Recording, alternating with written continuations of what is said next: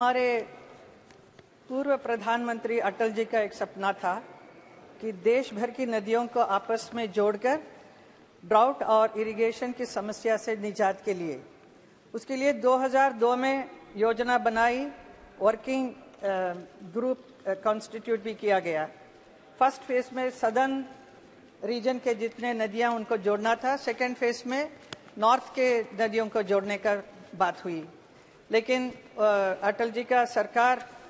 जाते ही ये सारा काम बंद हो गया था। लेकिन 2014 में नरेंद्र मोदी जी देश के प्रधानमंत्री बनते ही अटल जी का जितना भी इनकम्प्लीट काम था, उसको उन्होंने कदम उसको उठाया। और सितंबर 2014 में केंद्र सरकार द्वारा देश भर की नदियों को जोड़ने के लिए स्पेशल कमिटी कॉन्स्टिट्यूट किया गया और अप्रैल 2015 में एक इंडिपेंडेंट वर्किंग ग्रुप कॉन्स्टिट्यूट किया गया। मेरा आपसे ये सवाल है देश भर की नदियों को आपस में जोड़ने का जो मिशन है, जो प्रोजेक्ट है, उसमें अब तक क्या प्रोग्रेस है और क्या प्रोजेक्ट को टाइम बाउंड पूरा करने को लेकर कुछ तय किया गया है क्या? माननीय सभा, माननीय लोकसभा अध्यक्ष जी, हालाँकि मूल प्रश्न जो है वो बांधों में पानी के स्तर को लेकर के रिजर्वायर्स को लेकर के था, लेकिन माननीय सदस्य ने जो प्रश्न किया है, वो निश्चित ही अत्यंत महत्वपूर्ण है, इसलिए मैं सदन की जानकारी के लिए निवेदन करना चाहता हूँ। जैसा माननीय सदस्य ने कहा है कि स्वर्गीय अटल जी का सपना था कि देश में सरप्लस बेसिन से डेफिसिट बेसिन पर पानी ट्रांसफ़र करके देश की जो एक वार्षिक समस्या है, चुनौती देश के सामने है कि लगभग देश के 16-17 प्रतिशत हिस्से में हर साल अकाल पड़ता है लगभग इतने ही हिस्से में हर साल बाढ़ की ऐसी स्थिति बनती है। तो एक संतुलन और साम्य जो है, वो देश में लाया जा सकता है। और जैसा माननीय सदस्य ने कहा अटल जी की सरकार जाने के बाद में, क्योंकि 10 साल तक उसे रोक दिया गया था, माननीय प्रधानमंत्री जी, नरेंद्र मोदी जी ने पुनः इसको प्रारंभ किया। 31 लिंक ऐसे देश भर में आइडेंटिफाई किए गए थे जहाँ सरप्लस बेसिन से डेफिसिट बेसिन में पानी ट्रांसफ़र किया जा सकता है। उन सब की पीएफआरस बनी। उनमें से 15 से ज़्यादा लिंक्स के लिए डीपीआर बनाई गई। और डीपीआर बनने के बाद में हमने राज्यों के साथ में उनको शेयर किया। क्योंकि हम सब जानते हैं कि भारत में संविधान प्रदत्त व्यवस्था के अनुरूप जल राज्य का विषय इसलिए राज्यों को पहले उस पर सहमति बनाने के बाद में ही उस पर आगे बढ़ा जा सकता है। पाँच ऐसे प्रायोरिटी लिंक डिसाइड किए गए थे और उन पाँच प्रायोरिटी लिंक्स में से मैं आज सदन को प्रसन्नता के साथ में अवगत कराना चाहता हूँ कि उत्तर प्रदेश के माननीय मुख्यमंत्री योगी आदित्यनाथ जी और मध्य प्रदेश के माननीय मुख्यमंत्री शिवराज सिंह जी ने दोनों राज्यों के बीच में एक ऐसे क्षेत्र जिस क्षेत्र में पानी की सर्वाधिक कमी इस देश में, ऐसा माना जाता था, उस बुंदेलखंड के 60 लाख लोगों के पेयजल और 2 लाख से ज़्यादा हेक्टेयर ज़मीन सिंचित हो सके। इस दृष्टिकोण से दोनों राज्यों के बीच में माननीय प्रधानमंत्री जी की उपस्थिति में एक समझौता ट्राइपार्टाइट एग्रीमेंट किया और उस पैंतालीस हज़ार करोड़ रुपए की परियोजना को मंजूरी मिली। माननीय प्रधानमंत्री जी ने उस क्षेत्र की आवश्यकता को महसूस करते हुए उसके लिए 90 परसेंट ग्रांट भारत सरकार की तरफ़ से मिले, इसे सुनिश्चित किया है। और उस दिशा में हमें स्टेज वन स्टेज टू की क्लियरेंसेज सब मिल चुकी हैं। टेंडर की प्रक्रिया, प्रक्रियाधीन है और निश्चित ही हम उस पर आगे बढ़ेंगे। इसी तरह से राजस्थान और मध्य प्रदेश के बीच में एक प्रियोरिटी लिंक की डीपीआर बनाने के लिए भी हमने राज्यों से समझौते के लिए आग्रह किया है। राज्यों के साथ में राज्यों के द्वारा आपस में एमओयू हो जाने के बाद निश्चित ही अटल जी के सपने को पूरा करने के लिए माननीय प्रधानमंत्री जी के नेतृत्व में वर्तमान सरकार प्रतिबद्ध है। हम इस दिशा में काम करेंगे माननीय सदस्य सप्लीमेंट्री नीति आयोग की रिपोर्ट 2018 में कहा गया कि 2030 तक भारत में वाटर की डिमांड जो है सप्लाई से दो गुना अधिक हो जाएगी। रेन वाटर कंजर्वेशन और हार्वेस्टिंग के लिए सेंट्रल गवर्नमेंट द्वारा कई स्कीम्स चलाए गए हैं।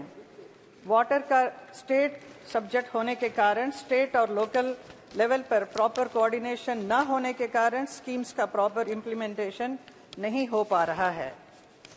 आ, मेरा माननीय मंत्री से ये पूछना है कि ये प्रॉपर कोऑर्डिनेशन और इम्प्लीमेंटेशन को इंश्योर करने के लिए क्या कोई स्पेसिफिक मैकेनिज्म इम्प्लीमेंट करने पर गवर्नमेंट विचार कर रही है ऑल्सो देश के वाटर की डिमांड और सप्लाई का जो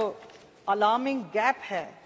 इसको लेकर रेन वाटर कंजर्वेशन और हार्वेस्टिंग के लिए आज आवश्यकता है फोकस्ड एजुकेशनल इंटरवेंशंस की। लोगों को एजुकेट करने की, जन भागीदारी बढ़ाने को लेकर गवर्नमेंट द्वारा क्या स्पेसिफिक स्टेप्स उठाए जा रहे हैं। माननीय अध्यक्ष महोदय, निश्चित रूप से माननीय सदस्य की चिंता कि देश की बढ़ती हुई पानी की आवश्यकताओं की आपूर्ति के लिए और एक ऐसे कठिन दौर में जब पूरी दुनिया क्लाइमेट चेंज के दौर से गुजर रही है, उस समय में जब हमारी चुनौती और भी बढ़ी है और चुनौतियों के बढ़ने के अनेक कारणों में हमारी बढ़ती हुई आबादी, बढ़ता हुआ शहरीकरण, बढ़ता हुआ औद्योगिकरण और इसके साथ साथ में पूरी दुनिया का अगर मानचित्र आर्थिक प्रगति का देखा जाए तो दुनिया की आर्थिक प्रगति में जिन देशों ने प्रगति की है, उसकी बढ़ती हुई इकोनॉमी का ग्राफ उसकी बढ़ती हुई बिजली की आवश्यकता के का ग्राफ और बढ़ते हुए पानी की आवश्यकता का ग्राफ लगभग एब्सोल्युटली आइडेंटिकल होता है। ऐसे में जब माननीय प्रधानमंत्री जी के नेतृत्व में हमारा देश दुनिया की सबसे तेज़ी से बढ़ती हुई अर्थव्यवस्था है और हम तीस तीन से पाँच डॉलर बिलियन डॉलर की अर्थव्यवस्था, ट्रिलियन डॉलर की अर्थव्यवस्था की तरफ़ बढ़ रहे हैं। निश्चित रूप से हमारी पानी की मांग और बढ़ने वाली है। लेकिन माननीय प्रधानमंत्री जी के नेतृत्व में एक तरफ़ जहाँ हमारे भूगर्भ के जल की जो, जिस पर हमारी सबसे ज़्यादा निर्भरता थी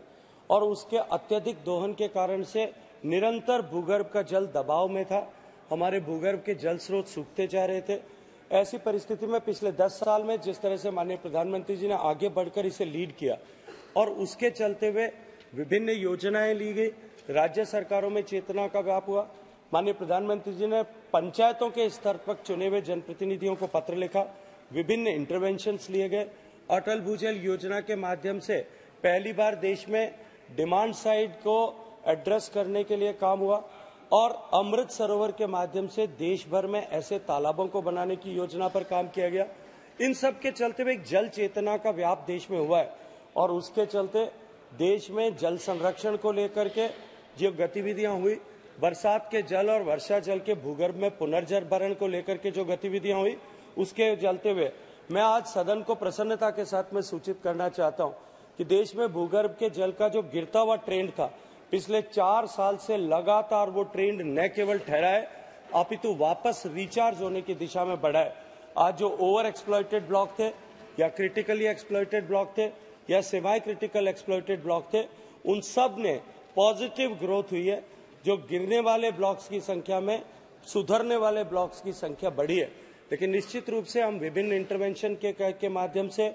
पानी का उपयोग हम संचित पानी का विवेकपूर्ण उपयोग करें। और एक एक बूंद पानी से अधिकतम लाभ ले सकें। इस दृष्टिकोण से जो माननीय प्रधानमंत्री जी के नेतृत्व में योजनाएँ बनाई गई है, हमने जिस तरह से माइक्रो इरिगेशन को एक्सपैंड करने के ऊपर काम किया है, जो उपलब्ध पानी है, उस उपलब्ध पानी का अधिकतम उपयोग हम कैसे कर सकें? क्योंकि पानी एक सीमित संसाधन है। उस सीमित संसाधन की सीमितता को देखते हुए उपलब्ध पानी का अधिकतम उपयोग कर हम किस तरह से अपने देश में जो है पानी के को निर्बाध आपूर्ति कर पाए, इस दृष्टिकोण से भारत सरकार सतत चिंतन मनन करते हुए काम कर रही है। इसमें मेरा भी मानना है कि सभी मान्य सदस्यों को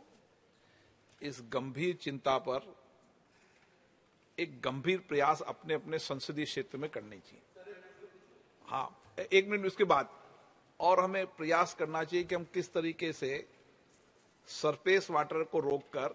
और तालाब बना सकें तालाबों को गहरा कर सकें। इसमें अपना जो सांसद कोष निधि है उसका भी उपयोग होना चाहिए और जन सहयोग से भी करना चाहिए ताकि हम पानी की जो चिंतित होने के लिए उसके लिए करें। सुदीप बंदोपाध्याय जी माँ नरेगा भी है उसमें सभी है संसाधन का सर व्हाट आई पिचहत्तर पिचहत्तर तालाबों का अभियान चला था, अमृत महोत्सव में कई मान्य सांसदों ने अच्छे काम किए, ऐसे करना चाहिए, अच्छे काम।